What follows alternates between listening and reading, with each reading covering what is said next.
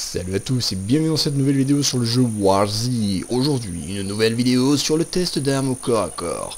Ce week-end, j'ai looté deux nouvelles armes au corps à corps, la clé à molette ainsi que la fourche.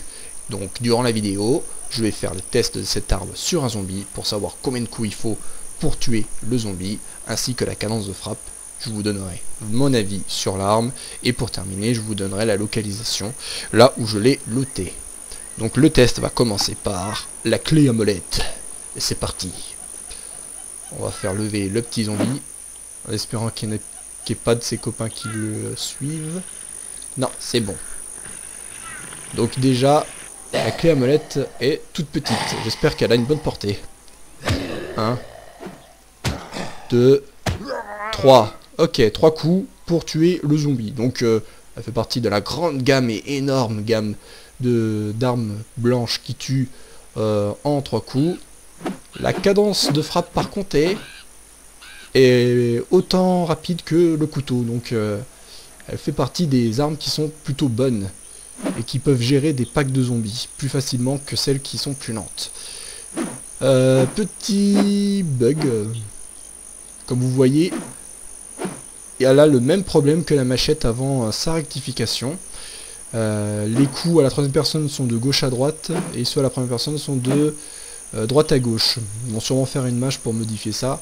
Mais en tout cas, cette arme est assez sympa puisque euh, sa rapidité et le fait qu'elle est assez discrète fait qu'elle est, qu'elle est plutôt pas mal. Je l'ai looté... Et merde, je me suis trompé de bouton je l'ai looté à la zone de construction de Fosdale, dans un des garages. Et donc sûrement vous pourrez également la trouver dans les autres garages qui se trouvent dans les villes que compose Campos. On va passer maintenant à la seconde arme, qui est la fourche. Alors là, on passe à un tout autre diamètre et longueur, puisque on passe de l'arme la plus petite à l'arme la plus grande.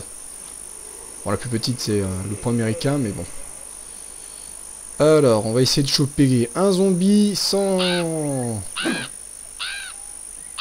Choper tous les autres zombies. What the fuck C'est bon, c'est parfait. Et c'est parti. Ouais, on va recommencer parce que je l'ai mal fait. Toi, viens là, ma petite. Viens tâter de ma fourche. 1, 2, et 3. Voilà, 3, 3 coups pour défoncer le zombie. Donc euh, une arme qui a, je pense, une très bonne allonge. Euh, l'animation est sympa, parce qu'on tape avec les pointes et non euh, sur le côté comme la pelle. bon, l'animation à la troisième personne est un peu robot, mais c'est pas grave. La cadence, elle est même très bonne, puisqu'elle est rapide, donc comme le couteau, vous pourrez gérer des packs de zombies, et comme la clé à molette que j'avais dit précédemment. Donc une, bonne arme, avec euh, également un skin euh, assez sympa et insolite. C'est dommage que le manche ne soit pas en bois, ça aurait été un petit peu mieux, ça aurait, ça aurait plus fait ressortir euh, la fourche. Parce que là, ça fait un peu bizarre, on dirait un bout de plastique. Donc là où je l'ai looté maintenant... Merde, je me trompe toujours de bouton. Donc c'est à Hill Ranch que je l'ai trouvé. vous pourrez également sûrement la trouver dans d'autres fermes que dans le Colorado puisque c'est, on va dire, euh, là-bas qu'on trouve généralement ce type d'objet. Et donc, euh, ben, je vous souhaite bonne chance si vous voulez essayer de les trouver. Normalement, ça, elles sont pas extrêmement rares, mais elles tombent pas à tous les coups. En tout cas, c'est assez sympa d'avoir une bonne gamme d'armes au corps à corps. J'espère euh, vous faire d'autres vidéos si j'arrive à trouver les dernières armes au corps à corps qui me manquent. normalement, c'est qu'il me manque, il, il y a la, la, hache de pompier. Il me manque aussi la clouteuse.